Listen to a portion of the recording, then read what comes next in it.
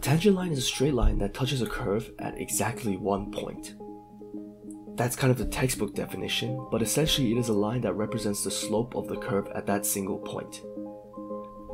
As we went over in our derivative basics video, a derivative will find the tangent line slope, or the slope at that point.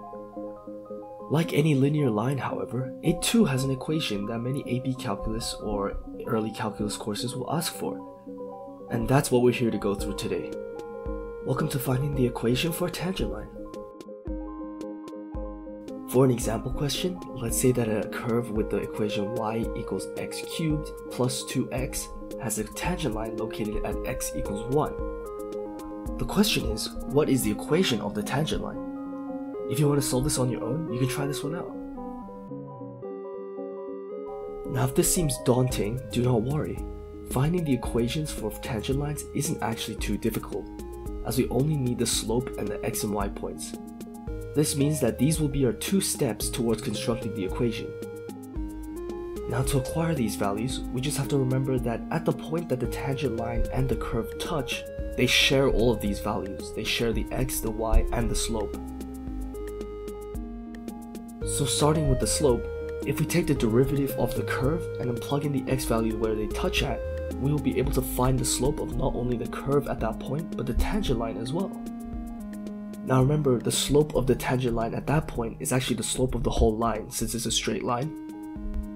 So applying this to our equation, if we take the derivative of this equation, our first term would be 3x squared, added to our second term, would, which would be 2. Now we plug in the point that they meet at, which is x equals 1. So we plug in 1 to get 3 times 1 squared plus 2. This results in a slope of 5. Now that we've gotten the slope, let's get the x and y points. Since this is a linear line, all we need to get is one set of x and y points. And lucky for us, the value of x is already given. However, to find the y value, we just have to use that sharing property we talked about again and realize that the curve's y value at that point will be the same as the tangent line's y value at that point as well.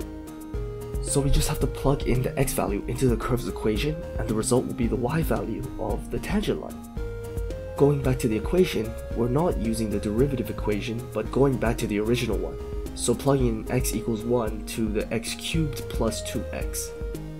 That gives us 1 cubed plus 2 times 1, which equals 3. So now we have a set of points, 1, 3, and our slope of the line of 5. So our very last step involves constructing the equation, which this time will not be using the slope-intercept formula, but the point-slope formula. This is because it allows us to plug in every single value without having to change anything, and during the exams you will not have to simplify this. So using this formula, we use our values from before to acquire a final equation of y minus 3 equals 5 times x minus 1. So now this is the equation of the tangent line. We finished the question already. It's quite a repeatable process and works for pretty much every single graph. So remember, just grab the slope and then one set of x and y points and plug it into the equation. It's that easy. Also, a little side note, thank you so, so, so much for 1000. It really makes me happy to see all the supportive comments. Uh, yeah, thank you so much. And I was thinking of doing a special, but I'm not exactly sure what to do. If you guys want to drop any suggestions, I can maybe try to do one of those. But yeah, thank you so much for watching. Best luck, best of luck with your future studies, and bye bye.